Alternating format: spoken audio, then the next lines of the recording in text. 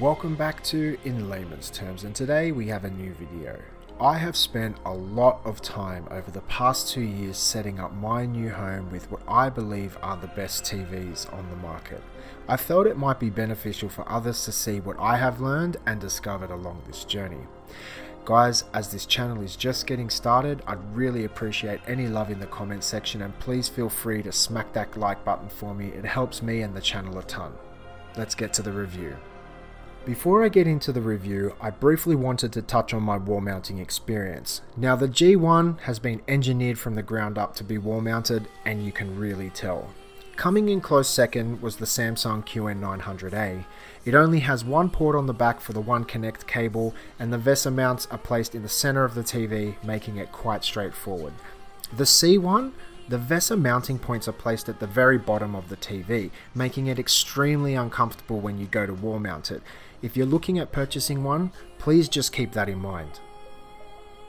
When I came into this, I was thinking about my testing philosophy. I was thinking, should I calibrate the TVs? Should I try and dial them in so they look comparable before testing?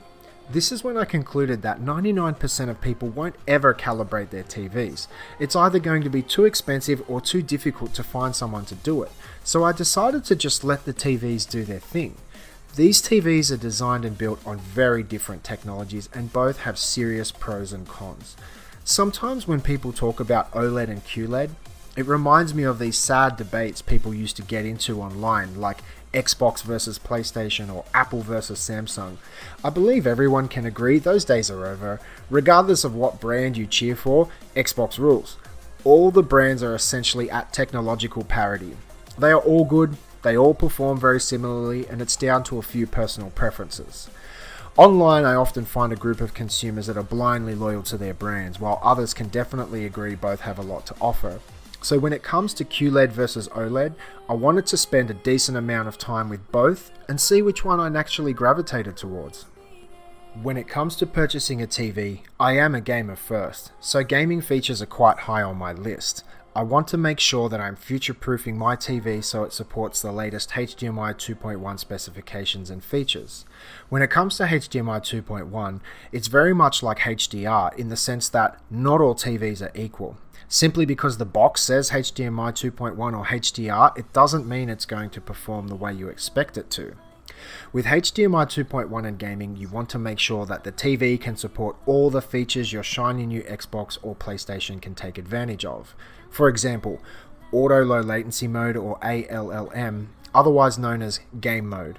This essentially puts the TV into a mode when a game is launched, it disables all the picture processing in order to have the TV lower the input lag between the button press and the action on the screen. Variable refresh rate, or VRR. VRR is another confusing topic. Some brands offer their own version of VRR. Let's call it premium VRR, such as AMD FreeSync or Nvidia G-Sync. If you're a console gamer, all you need to know is FreeSync is what you're looking for. HDR or high dynamic range. Once again, this is another topic that people can get quite confused about, so please keep in mind when I discuss these topics, I am generally oversimplifying. HDR is another feature set that some brands will offer a premium version of in the form of Dolby Vision or HDR10 Plus. HDR10 is known as the base layer or common layer of the format. If you watch any premium HDR content such as Dolby Vision or HDR10 Plus on a TV that doesn't support it, the TV will fall back to the common layer of HDR10. In my humble opinion, premium HDR is great, but it only really adds an additional 5 to 10% of performance on top of HDR10.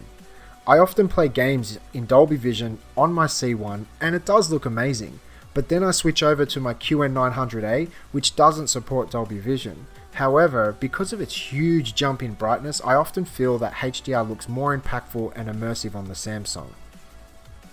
Now that I've covered the basics, I wanted to give the Xbox and PlayStation a good run on both TVs, and see how I feel after a few weeks of game time. All three TVs support the important HDMI 2.1 features for current gen consoles, including 4K at 120. The Samsung has a little bit more headroom as it's an 8K display, but don't hold your breath for any 8K games or content in the future. The first thing I notice every time on the C1 is how dim OLED really is, even in the vivid mode.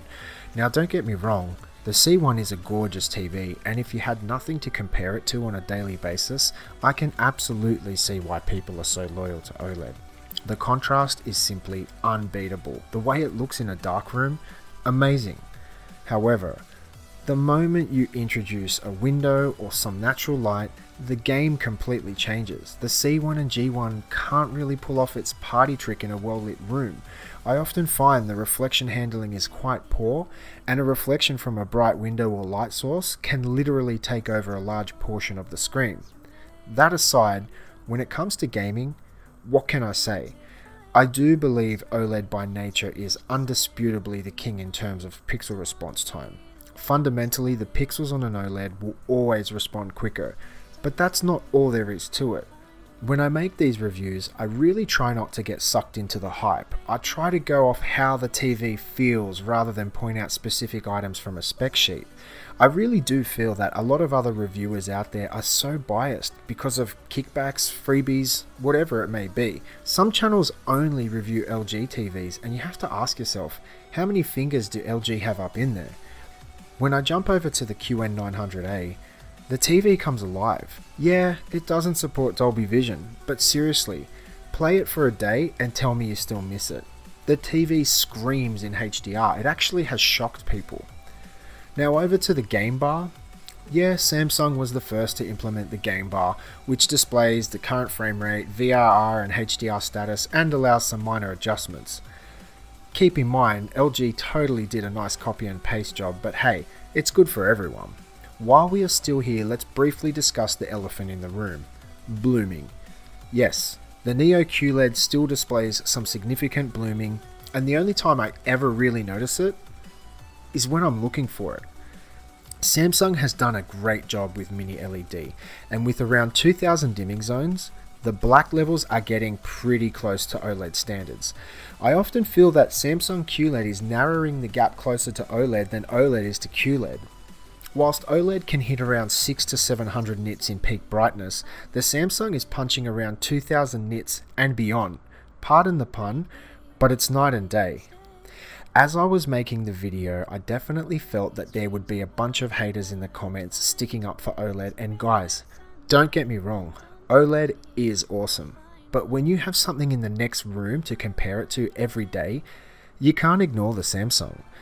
As a result of all my time and testing, I'm actually thinking next year I might sell the C1 and look for a better option. Coming up to my final thoughts, don't always believe the hype.